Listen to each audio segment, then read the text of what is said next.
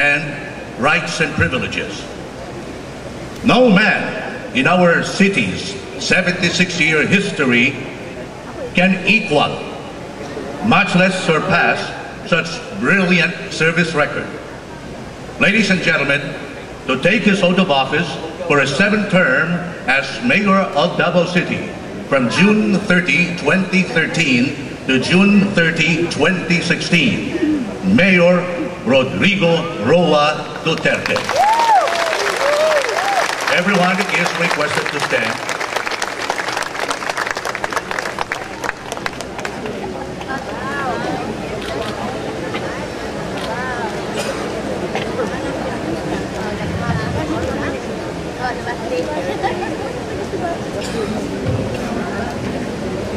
kindly sit down. I'm embarrassed to no end do that. Yung pare lang, yung ako pare, mayor lang ako.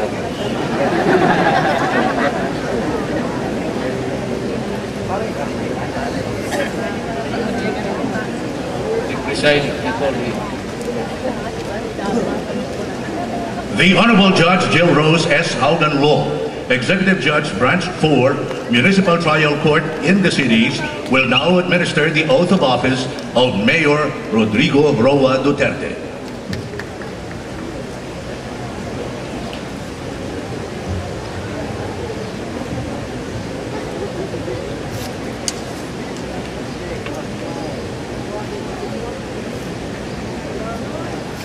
I, I, Rodrigo Roa Duterte, Rodrigo Roa Duterte,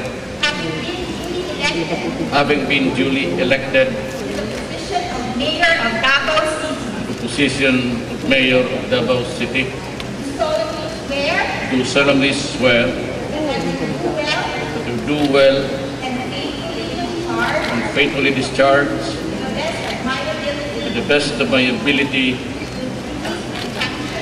duties and functions of my present position of my present position and all others and after hold that I may hereafter hold under the Republic of the Philippines, under the Republic of the Philippines, that I will bear true faith that I'll bear true faith and allegiance to the and same, allegiance to the same, that I will obey that I will obey the laws, the laws, legal orders, legal orders, and decrees and decrees promulgated by the duly constituted authorities promulgated by the duly constituted authorities of the Republic of the of Philippines, the Republic of the Philippines, that I voluntarily impose that I voluntarily impose this obligation this obligation upon myself upon myself without moral reservation without moral reservation, or purpose of evasion. purpose of evasion. So help me God. So help me God. Congratulations po,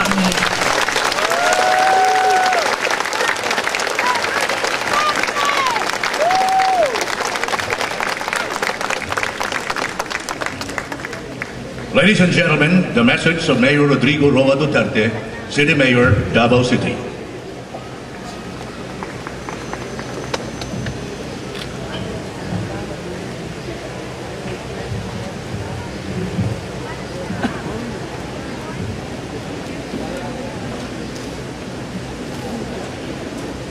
Fellow Davaoeños, distinguished guests, fellow workers in government, friends, ladies and gentlemen. No leader can achieve much without the support of the people he sworn to serve.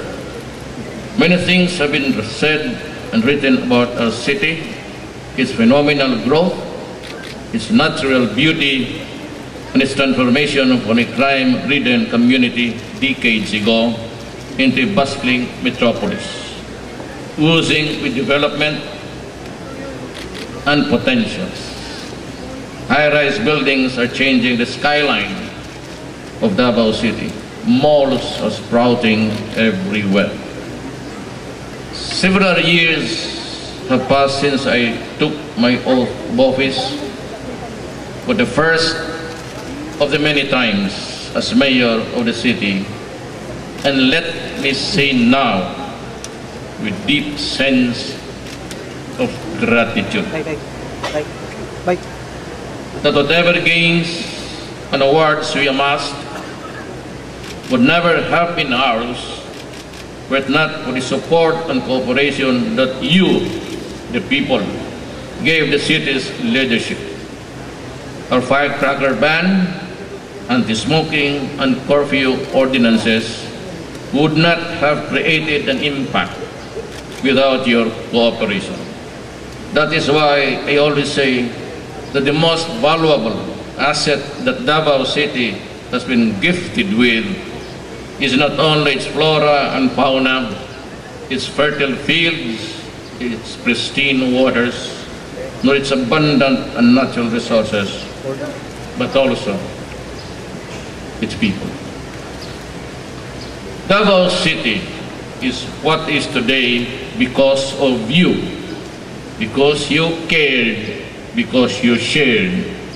You're one with us in the city government as we traveled every zigzag of every road, every byways, in pursuit of our city's vision, mission, and goals. You were there during the times of calamities, both natural and man-made, to help us without being asked. The gravity of the problems spawned by these disasters did not deter us because you were there to lighten the burden, fortify our grit, and strengthen our resolve and lift our spirit. Today, as I take my oath of office as city mayor for the seventh time, I ask you to join me in sustaining not only the government of the people, by the people, and for the people, but also creating a government for the least, the last, and the lost Filipino. There will be no let-up nor fight against all forms of criminality. As a matter of policy, we will intensify our efforts in this campaign. I have said it before, and I will say it again. Criminals have no place in a city except in jails, detention centers, and God forbid, in our funeral parlors. So these criminals decide fight it out with authorities. To the drug pushers, drug dealers, drug suppliers, and perpetrators of heinous crimes, I say again, stop or leave. If you cannot or will not otherwise, you will regret it. Worse still, you may not survive your grief. The clock is taking away the hours for you. You can live either vertically or horizontally. It is up to you if you fight the day ends permanently for you. For the children in conflict with the law have made bloody fights and bloody riots nightly occurrences, do not waste away your lives. The provisions of the Juvenile Justice and Welfare Act of 26, 26 behind which you seek refuge, to exempt yourself from accountability for committing an act which ordinarily is a crime if committed by an adult, is undergoing amendment. Do not wait for that to happen. Mend your ways. It will be for your own and your honor. good. Everyone knows the frequent floodings in low-lying areas that have been experiencing, we are experiencing of late, is due to climate change. Everyone knows that. But we cannot fight, much less prevail over nature. Indeed, no one can. Consequently, we shall take deliberate action to improve the flow and the holding capacities of our waterways and drainage systems. declaring canals will be made a regular feature of the department charged with this responsibility. We will acquire more much-needed rescue and weather monitoring equipment, more machines and machineries, and more communications facilities in order to save lives and preserve properties whenever and wherever calamities strike. We will continue to conduct barangay-based information campaigns, educational programs, and disaster management trainings to prepare everyone for any eventuality that puts lives and properties at risk. We will put additional stress in the management of solid wastes because improper waste disposal causes drainage problem, in turn contributes flooding and consequently wreaks havoc to the economy and results in health problems. We have acquired relocation sites to accommodate those who live in danger zones where the impact of flash floods is most severe. To those residing in these area zones, you have to leave the place. There is no other option. However, relocation will be allowed only when the sites are developed and ready for habitation. At the same time, we will encourage investors to put their businesses and projects where these relocation sites are. Spreading out industries and commercial concerns to sleepy areas as for development is an option that we will pursue. Places of residence and places of work must be near as possible to each other to caution the impact and mitigate the inconveniences of relocation. We will continue to protect our environment and preserve our watersheds without obstructing the march of progress. The recent passage of the Comprehensive Zoning Ordinance of Davao City, where our shelterheads, watersheds have been classified as protected areas, is most welcome development. Environment protection and development must complement and not clash with each other. To the private sector, let me say this. We expect you to continue to spearhead the business and economic activities of, in the city. The city government is your partner and not your competitor in this endeavor.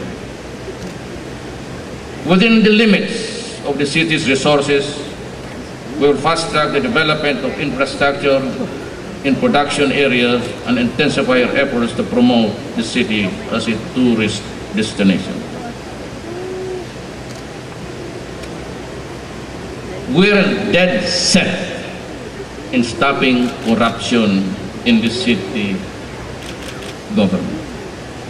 Along this line, we have requested the Ombudsman to appoint the city's resident Ombudsman soonest to investigate complaints and cases of corruption in the city. Do not test the determination and will of the city to institute reform. Ignore this warning and you will be so. Finally, we call on everyone to join us in creating a city where opportunities abound, where every house is secured, every person safe, and every place a home for everyone. This is our home. Yours, mine, ours. Thank you and good day.